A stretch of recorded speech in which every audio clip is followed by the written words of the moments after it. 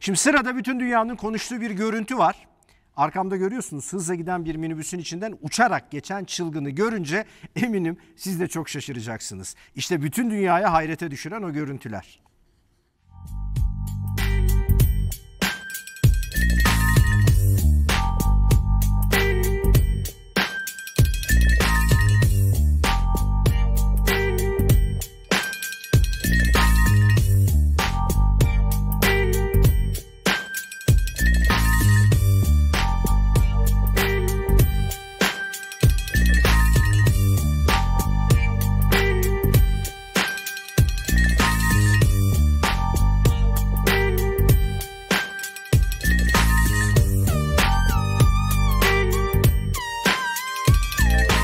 Hızla giden bir minibüs ve yine içinden hızla geçen bir cisim.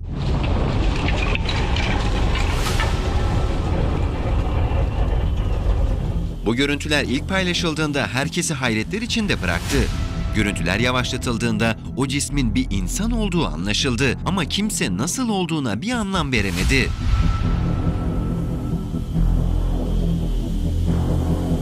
Nasıl uçuyordu? Minibüsün içinden nasıl geçmişti soruları geldi peş peşe. Sonra görüntülerin ikinci bölümü yayımlandı.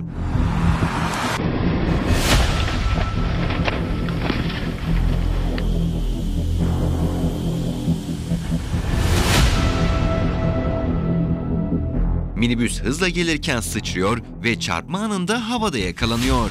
O aslında olduğu yerde duruyor ama minibüs hızla geçip gidince ortaya bu görüntü çıkıyor.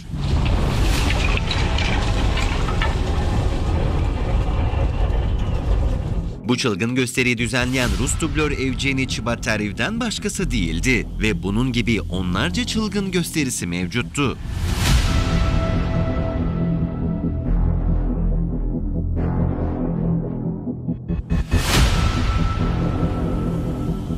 Rusya'da çok popüler olan dublör, geçtiğimiz Eylül ayında benzer bir gösteride kaburgasını kırmıştı. İyileşir iyileşmez de bu çılgın gösteriyi gerçekleştirdi.